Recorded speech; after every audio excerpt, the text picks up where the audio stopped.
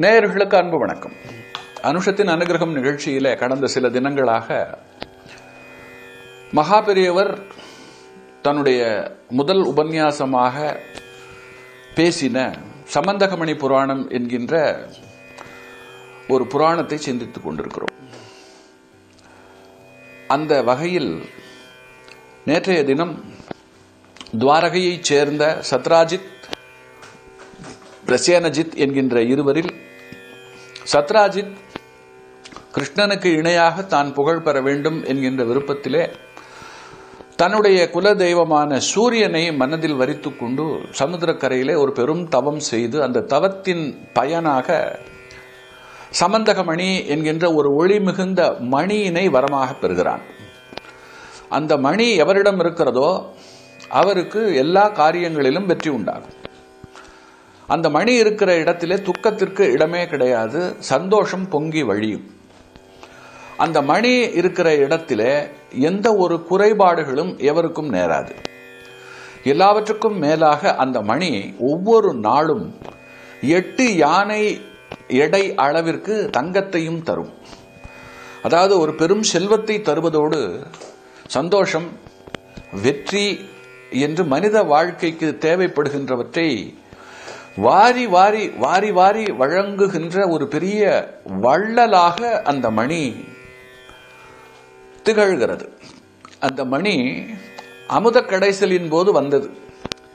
அமிர்தத்திற்கு இருக்கக்கூடிய எல்லா விதமான குணமும் அதற்கு உண்டு. கற்பக விரட்சம் போல காமதேனுவை போல அதுவும் சர்வ வல்லமையும் சக்தியும் படைத்த ஒன்று. அது சூரியனை சென்று அடைந்திருந்தது. அதைத்தான் சத்ராஜித் தனக்கு வரமாக வேண்டும் என்று கேட்க பல நிபந்தனைகளுடன் சூரியன் அதை சத்ராஜித்துக்கு தருகிறான். இதை வைத்துக் கொள்வது பெரிதல்ல. இதை வைத்துக்கொண்டு வெற்றிகரமாக மகிழ்ச்சிகரமாக செல்வ செழிப்போடு வாழ்வது என்பது ஒரு பெரிய விஷயம் இல்லை. ஆனால் இதை வைத்துக் கொள்வது என்பது ரொம்ப கஷ்டமான ஒரு விஷயம். துளி கூட இதற்கு தீட்டு ஆகாது. அசுத்தம் ஆகவே ஆகாது. அதே போல பூசணைகள் தினந்தோறும் பூஜித்து வழிபடுவது அப்படிங்கிற ஒரு விஷயமும் இதற்கு பின்னாலே ரொம்ப முக்கியம். ஆகையினால நீ கொஞ்சம் கவனிச்சுக்கணும். ஏன்னா மனித வாழ்க்கையில் வந்து நாம் வந்து எவ்வளவு வேண்டுமானாலும் சந்தோஷத்தை அனுபவித்து விட முடியும். ஆனால் சில நேரங்களில் சில விஷயங்கள் நம்ம கையில் கிடையாது. நம் உடல் நலம் எப்படி போகும் அப்படின்னு சொல்ல முடியாது. இப்போ ஒரு நாள் உடல் நலம் இல்லை படுத்த படுக்கையாகிவிட்டால் பூஜை செய்ய முடியாமல் போகலாம். நம்மை பார்க்க வருகின்ற அத்தனை பேரும் ஆச்சாரமாக இருப்பார்கள் என்று சொல்லுவதற்கில்லை. இப்படி நிறைய அசுத்தமான விஷயங்கள் அதற்கு ஆகாது. அசுத்தமான விஷயங்கள் என்று சொன்னால் அதை ஒரு பெரிய பட்டியல் போடலாம். அதனால ரொம்ப ஆச்சாரமாக வாழ்வது அப்படிங்கிறது வந்து மடாதிபதிகளுக்கே மகா பெரியவா போன்ற சன்னியாசிகளுக்கே அது ரொம்ப சிரமமான காரியம். பெரியவா வந்து யார் மேலேயும் படாமல் இதுக்கு இது வந்து இதற்கும் தீண்டாமைக்கும் எந்த ஒரு சம்பந்தமும் கிடையாது. ஒரு தவசியின் உடம்பு வந்து ஒரு டிரான்ஸ்ஃபார்மர் மாதிரி. போகிற வர்றவெல்லாம் அதை தொடக்கூடாது. நம்ம ஆயிரம் இடத்துக்கு போகிறோம் ஆயிரம் இடத்துக்கு வரோம். நம்ம வந்து நம்ம வாழ்க்கையில் வந்து தவம் நோக்கு கிடையாது. நம்ம வாழ்க்கையில் நாம் வாழ்வு தான் நமக்கு நோக்கு. அதனால நமக்கு வந்து எந்த கட்டுப்பாடுகளும் இல்லை. நம்ம வந்து எப்போ வேணா தூங்குவோம் எப்போ வேணா எழுந்திருப்போம் எப்போ வேணா குளிப்போம் எப்போ வேணா நாம் எதை வேண்டுமானாலும் செய்வோம். அப்படிப்பட்ட வாழ்வு நம்முடைய வாழ்வு. ஆனால் ஒரு சன்னியாசி மடாதிபதியினுடைய வாழ்வு என்பது பிரம்ம முகூர்த்தத்தில் கண்விழித்து இப்படித்தான் இருக்கணும் அப்படிங்கிற அந்த வரைமுறைகளுக்கு உட்பட்டு வாழப்படுகின்ற ஒரு வாழ்வு. அதிலிருந்து ஒரு நூல் பிசைகினா கூட அவருக்கு அழகல்ல தவத்திற்கு அழகல்ல. ஆனால் அப்படியெல்லாம் ஆகக்கூடாது. கோடி பேர் இருந்தாலும் அதில் ஒருவனாவது எல்லாவற்றையும் பின்பற்றுகின்றவனாக இருக்க வேண்டும் என்கின்ற அடிப்படையில் தான் மடத்தை தோற்றுவித்து மடாதிபதிகளை தோற்றுவித்தார் ஆதிசங்கர். அப்படித்தான் எல்லா சமயங்களிலேயும் மடங்கள் உருவானது. அது வைஷ்ணவத்துக்கும் பொருந்தும் சைவத்துக்கும் பொருந்தும் கௌமாரத்திற்கும் பொருந்தும். அங்கே இருக்கக்கூடிய சன்னியாசிகள் தாங்கள் வந்து ஊருக்கு விளக்காக ஊருக்கு பொதுவாக எல்லாருக்கும் பொதுவாக எல்லாருக்கும் சேர்த்து அவர்கள் தங்களை மிக சுத்தமாகவும் பவித்திரமாகவும் புனிதமாகவும் அது எந்த நிலையிலும் கெட்டுவிடாமலும் வைத்து கொண்டிருந்தார்கள். ஆனால் அப்படி இருக்கும் பொழுதும் அதை மீறிக்கொண்டு பெரியவர் வந்து யாத்திரை எல்லாம் வரும்பொழுது பக்தி மிகுதியில காலை போய் கட்டி கொண்டு விட்டவர்கள் உண்டு. இப்போ என்ன? தொட்டுட்டா என்ன? எது குறைஞ்சு போயிடும் அப்படின்னு சொல்லிட்டு இன்றைய லோகாயதமாக ஒரு கேள்வியை உடனே கேட்டு விடுவார்கள். உடனே தீண்டாமையோட தொட்டதுனால எல்லாம் குடிமொழிக்கு போச்சுங்கிறா அப்படிங்கிற மாதிரி பேசுவார்கள். அப்படி அல்ல. அதாவது நிறைய அதுக்கு பின்னால் வந்து சிந்திப்பதற்கும் பேசுவதற்கும் நிறைய விஷயங்கள் இருக்கிறது. அதனால் பெரியவர் வந்து ரொம்ப அந்த விஷயத்தில் பெரியவரை வந்து வைத்தியம் பார்க்க வருகின்ற மருத்துவர் கூட ஒரு பட்டு துணியை போர்த்தி அந்த பட்டு துணிக்கு மேலே தான் அவருடைய கையை பிடித்து நாடி பார்ப்பார். அப்படி ஒரு ஒரு கணக்கு. ரொம்ப அவர் வந்து தன்னைத்தானே வந்து கிட்டத்தட்ட ஒரு சிறையில் வைத்து கொண்டு விட்டதை போன்ற ஒரு விஷயம் அது. அதனால் அவ- நான் எதுக்கு சொல்ல வந்தேன்னா அந்த மாதிரி இருக்கின்றவர்களுக்கே வந்து சில நேரங்களில் வந்து அப்படி இல்லாம முடியாமல் போய்விடுகிறது. பலர் வந்து மேலே வந்து விழுந்து விடுகிறார்கள். சரி பரவாயில்ல. அவள் வேணும்னு செய்யலை. அவளுக்கு தெரியாது. அவளோட பக்தி மிகுதியில் செய்து விட்டார்கள் என்று சொல்லி கடந்து அதுக்கப்புறம் போய் குளிச்சுட்டு அதுக்கப்புறம் திரும்ப ஜீரோ ஆரம்பத்திலிருந்து அன்றைய தினத்தை அவர் தொடங்க வேண்டும். இப்படி நிறைய அதற்கு பின்னால சன்னியாச தர்மத்துக்கு பின்னாலே மடாதிபதிகளுக்கு பின்னாலே நிறைய விஷயங்கள் சொல்லப்பட்டிருக்கிறது. அதனால் இங்கே சூரியன் சொன்னது இருக்கு இல்லையா? அதை வச்சுக்கிறது ரொம்ப கஷ்டம் அப்படின்னு சொன்னதே அவன் காது கொடுத்து கேட்காமல் சத்ராஜித் அந்த சம்பந்தகமணி மாலையை வாங்கி கொண்டு துவாரகைக்கு வந்து விட்டான். அவனுக்கு அவனுடைய புகழ் துவாரகை முழுக்க பரவி விட்டது. அவனும் வந்து ரொம்ப கித்தாப்பாக இருக்கான். இந்த தகவல் துவாரகையினுடைய அரசனான பலராமனுக்கும் கிருஷ்ணனுக்கும் போகாமல் இருக்குமா? செல்லுகிறது. அப்போ கிருஷ்ணர் பலராமர் கேட்கிறார். நிறைய பேர் நம்மளை பார்க்க வருவாளே. நிறைய குறைகளை சொல்லுவார்களே. நம்ம சபையில் வந்து எப்பொழுதுமே கூட்டம் நிரம்பி வழியுமே. இன்றைக்கு அப்படியெல்லாம் ஒன்றும் இல்லையே. ரெண்டாவது நான் எங்கே எப்பொழுது யாரை பார்த்தாலும் எல்லோரும் சத்ராஜித்தை பற்றியே பேசுகிறார்களே. அவன் வீட்டு முன்னாலே ஒரு மிகப்பெரிய கூட்டம் இருக்கிறது. என்ன காரணம்னு கேட்கும் பொழுது இந்த மாதிரி சம்பந்தகமணி மாலை அது கொடுக்குற தங்கம் அந்த தங்கத்தை அவன் வந்து தனக்கு பிரியப்பட்டவர்களுக்கெல்லாம் எடுத்து தருகிறான். இப்பொழுது நீங்கள் பேருக்கு அரசன் நான் பேருக்கு துவாரகாதிபதி. உண்மையில் தன்னைத்தான் அவன் துவாரகாதிபதியாக கருதி கொண்டிருக்கிறான். காரணம் அவனிடம் இருக்கக்கூடிய சம்பந்தகமணி. அப்படின்னு சொல்லிட்டு அதனுடைய தன்மையை கிருஷ்ணன் வந்து பலராமருக்கு சொல்லவும் அப்போ பலராமர் சொல்றார் இது ரொம்ப தப்பு. ஒரு ஊருக்கு ஒரு ராஜா தான் இருக்கலாம். அப்பதான் நிர்வாகம் சரியாக இருக்கும். எல்லாரையும் ராஜா மட்டும்தான் கட்டுப்படுத்தணும். அவனுக்கு தான் அந்த அதிகாரம். ராஜா போல் தன்னை கருதி கொண்டு வாழுகின்றவர்களாலே சிக்கல்கள் நேரிட்டு விடும்.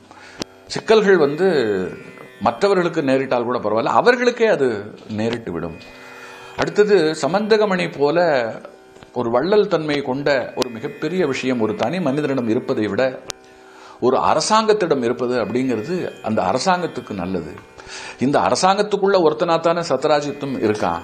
அதனால அந்த தங்கமோ மற்ற விஷயங்களோ இந்த நாட்டுக்கு இந்த துவாரகைக்கு கிடைக்கும் பட்சத்தில் இந்த துவாரகையே சந்தோஷமாக இருக்கும். அவனும் சேர்த்து அத்தோடு சந்தோஷமாக இருக்கலாமே. அவன் வந்து ஏன் வந்து தான் மட்டும் சந்தோஷமாக தனக்கு மட்டும் தன்னை மட்டும் எல்லோரும் பார்க்க வேண்டும் தன்னை பெரிதாக கருத வேண்டும் என்கின்ற ஒரு வேட்கையிலே இப்படி இருக்கிறான். இது வந்து இதை நாம் அனுமதிக்க கூடாது ஒரு அரசனாக என்னால் இதை அனுமதிக்க முடியாது. ஆகையினால நீ என்ன பண்ற அப்படின்னு சொன்னா அந்த சமந்தக மணியை நான் கேட்டதாக அதாவது நம்ம அரசாங்கத்துக்கு வேணும் அப்படின்னு சொல்லிட்டு கேட்டு வாங்கி கொண்டு வந்து அதை இங்கே வைத்துவிடு அதை நாம் எப்படி கொண்டாடி வணங்கி செய்ய வேண்டுமோ அப்படி நாம் செய்யலாம். அப்படின்னு சொல்லிட்டு பலராமர் வந்து ஒரு அரசனாக பல கோணங்களிலே யோசித்து இதை சொல்கிறார் ஆனால் கிருஷ்ணன் என்ன சொல்கிறான்னாக்கா அண்ணா நீங்கள் சொல்லுவது வந்து எனக்கு புரிகிறது. ஆனால் சத்ராஜித் இதை சரியாக புரிந்து கொள்ள மாட்டான். அவன் மேல் பொறாமையை கொண்டு அவனுக்கு பேர் வருவது பிடிக்காமல் நாம் அவன்கிட்ட இருந்து அந்த மணியை அபகரிக்க நினைப்பதாகத்தான் அவன் கருதுவான். ஏன்னா இது அவன் தவம் செய்து பெற்ற ஒரு விஷயம். அதை நாம் எதற்கு கேட்கிறோம் ஏன் கேட்கிறோம் அதில் இருக்கக்கூடிய புதுநல சிந்தனை இருக்கிறதே அது அவனுக்கு தெரியாது. அவன் அடுத்து என்ன சொல்லுவான் நீ ஒரு ராஜாவாக இருந்து கொண்டு என்ன செய்ய நினைக்கிறாயோ அதை நான் செய்துட்டு போறேன். உன்னை போல அதாவது ஒரு உண்மையான ராஜாவாக இருக்கும் உன்னை விட என்னை மக்கள் ராஜாவாக நினைப்பது உனக்குத்தான் பொறுக்கல உனக்குத்தான் பொறாமை. அதனால தான் இது எங்கிட்ட இருக்கக்கூடாதுன்னு சொல்லிட்டு நீ என்னிடம் இருந்து இதை அபகரிக்க பார்க்கிறாய் அப்படின்னு சொல்லி அவன் தவறாக புரிந்து கொண்டு பேசுவான் சிந்திப்பான்.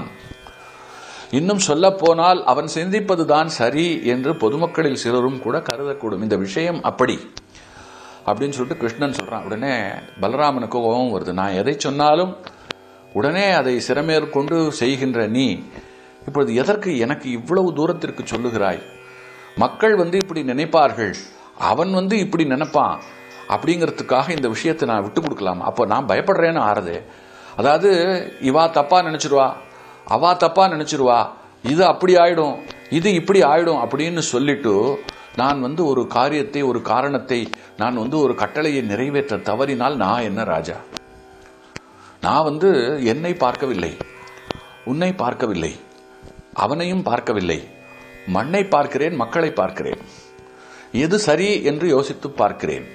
அதனால சொல்றேன். நான் இப்ப கேட்கிறேன் ஒரு அபூர்வம் அது. அந்த அபூர்வத்தை அவனிடமிருந்து கொள்ளையடிப்பதற்காக யாராவது முயற்சி செய்து அவனை கொன்று விட்டால் அவன் உயிர் போய்விட்டது களவு போய்விட்டது என்று சொன்னால் அது நமக்கு அவமானம் இல்லையா இந்த துவாரகையில் அப்படி ஒரு சம்பவம் நடக்கலாமா? நம்முடைய ஆட்சியில ஒரு வரப்பிரசித்தி பெற்ற ஒருவன் மாண்டு போனான். அவனிடம் இருந்த ஒரு அற்புதமான ஒரு விஷயம் தொலைந்து போனது களவு போனது அப்படின்னு சொன்னா அது எவ்வளவு பெரிய அபகீர்த்தி. ஆ, அதனால சொல்றேன். அப்படியெல்லாம் நடப்பதற்கு வாய்ப்பு இருக்கு அப்படின்னு சொல்லிட்டு நான் நினைக்கிறேன். ஏன்னா மண்ணை அபகரிப்பதற்கு எத்தனை பேர் சுற்றி இந்த நாட்டை அபகரிக்கணுங்கிறதுக்காக போரிடுகின்றவர்கள் எத்தனை பேர்? மண்ணுக்கே இதனை ஆசைப்படுகின்றவர்கள் அந்த மண்ணுக்குள்ளே அன்றாடம் அள்ளி அள்ளி பொன்னை தருகின்ற இது போல ஒரு அபூர்வ விஷயம் இவன் இருக்க ராஜா கிடையாது இவன் ஒரு தனி மனிதன்.